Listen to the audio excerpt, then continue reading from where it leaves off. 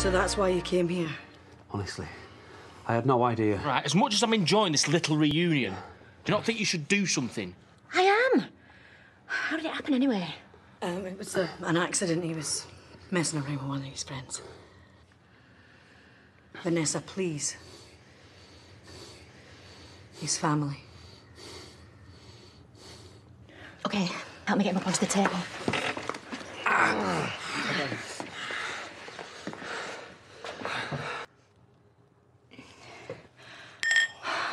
Okay, that's it.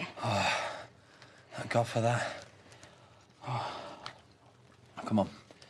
You must have some stronger painkillers. I gave you a local anaesthetic. How many of these have you done? Uh, one on a sheepdog. Now, shut your face, or I'll give you a wonky scar. I've not seen him since I was little. Well, it's been maybe, what, 20 years?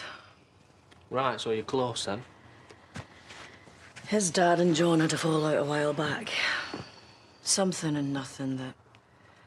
Well, you know what families are like. James didn't even make it to his funeral.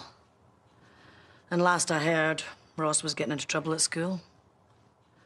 Doesn't look like he's changed. I reckon he's telling the truth, though. By not knowing who we were, I mean, he looked as shocked as any of us. Yeah.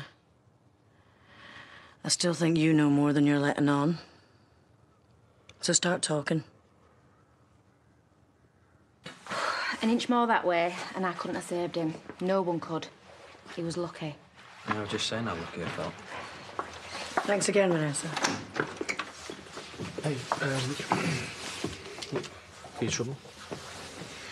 Don't you mean for my silence? Well, yeah, that as well. Go on. Don't be silly. It's fine. Right, you. Keep still. Lots of rest. So sounds like you won't be getting rid of me just yet. Don't count on it. He told me the truth. Yeah, said it should have been me on that job. Oh, sounds about right. Because of you, I've got some well-knocked people after me. What, the dealer saw you? No, but Marcus and that lot did. They reckon this is all my fault. Right, well, I'll sort it. No. You can't know about this. They know that they'll work out that I'm here. Yeah? So what happens then? A load of gangsters turn up? Look, they know nothing about me. Let me just stay for tonight, and I'll be gone tomorrow. Somewhere they can't find me. What happened to you?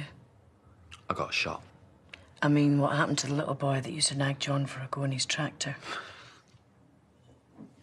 Guess he got bored of tractors.